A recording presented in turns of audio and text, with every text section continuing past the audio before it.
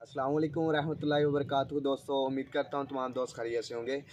तो आज जैसा कि आपने एक छुट्टी का दिन मनाया आज के दिन करारदाद पाकिस्तान मंजूर हुई।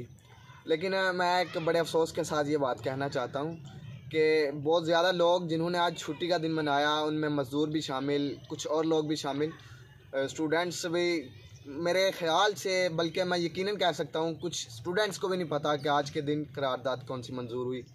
आज का दिन किस लिए था? आज के दिन हमें एक मुल्क पाकिस्तान का एक अहम तरीन दिन मिला जो कायद अज़म मोहम्मद अली जना की जानब से। आज हमने यूँ ही जिस तरह के हम चौदह अगस्त को मनाते हैं, मोटरसाइकिलों के जो सलमसर होते हैं, उन, उनकी बेहुदा आवाज़ें निकाल कर इस दिन को हम ज़ाया कर देते हैं। अल्लाह पाक की तरफ़ से यह दिया गया दिन, ये हमारे लिए बहुत बड़ी नेमत था।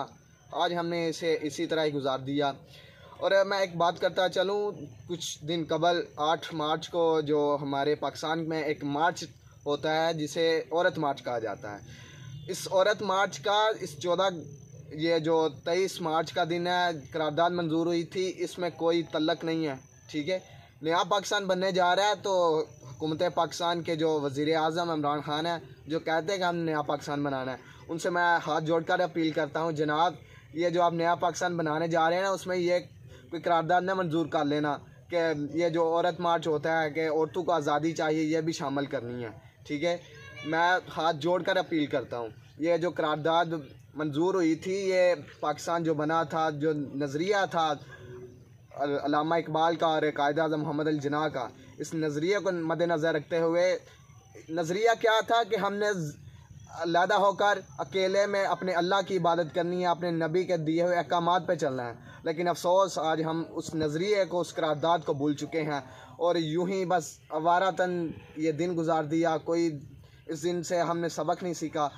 दोस्तों, आपको एक मैसेज देना चाहता हूँ कि कायद अजम मोहम्मद अली जना इस दुनिया फानी से चले गए हैं, लेकिन आज उनकी रूह भी तड़प रही होगी कि यार, हमने जो पाकिस्तान बनाया था, किस लिए बनाया था और आज क्या हो रहा है? दोस्तों, इस दिन को इसी तरह ज़ाया मत करो, इस दिन का मकसद समझो और इस दिन को मज़ीद बेहतरी की तरह जो है ना गुजारो। उम्मीद करता हूँ कि मेरी बातों को आप समझेंगे और इस पर अमल करेंगे। अल्लाह हाफिज़।